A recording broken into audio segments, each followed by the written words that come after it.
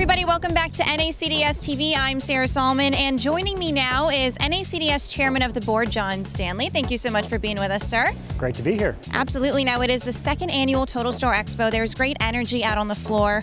What is the overall value of being here? I mean, what can these attendees expect this week while they're here in Boston?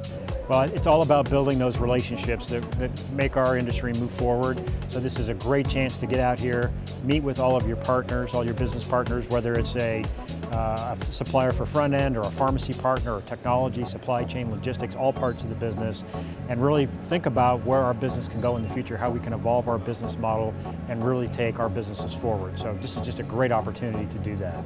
Absolutely. And talking a little bit about you as chairman um, of NACDS, what is your overall vision for the organization? Where do you hope to push this organization forward to? Well, I think NACDS is uh, very much headed in the right direction today. We're working very hard uh, to evolve the role of the pharmacist and what the pharmacy can be in community health care and how we can better serve our customers and patients in the communities that we operate in. So there's a number of, of great things going on at NACDS from the foundation to the work that we're doing uh, from a regulatory perspective and events like this that bring us all together to really help push our industry forward. So I think I think we're headed in the right direction. Yeah, I think so too. And, and part of um, the alignment here with NACDS is Rite Aid. You guys have very similar visions, very similar goals, right? So you discussed some of those initiatives this morning during the business program. So for those who missed it, um, if you can just kind of recap what some of the Rite Aid initiatives are. Sure, and I think as an industry, there's a lot of alignment. I think a lot of uh, a lot of us are working in the same general direction.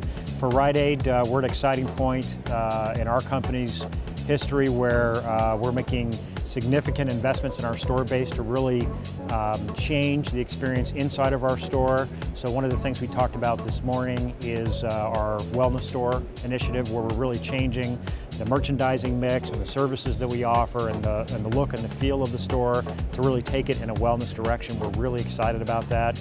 We've been working really hard uh, on the role of the pharmacist. What can pharmacists do to, to better serve our customers and patients between immunization and medication therapy management and other counseling services that we're providing.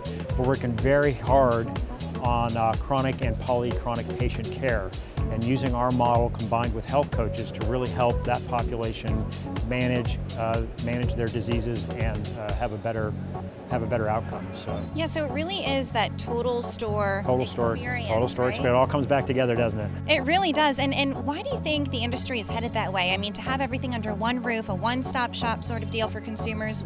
What is the what's the goal? Well, I think there's certainly an, you know an element of an element of convenience to it, but really when you think about it, the pharmacist is the healthcare provider that sees the patient most often.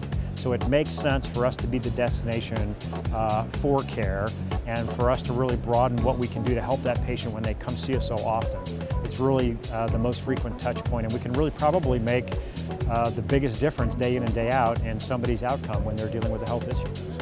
So. Absolutely. Well, great things happening at Rite Aid and great things happening here within NACDS. John, thank you so much for joining us. Thanks for having me. Absolutely, Really appreciate it. Absolutely. Great to see you. You too. And for NACDS TV, I'm Sarah Solomon. We'll see you next time.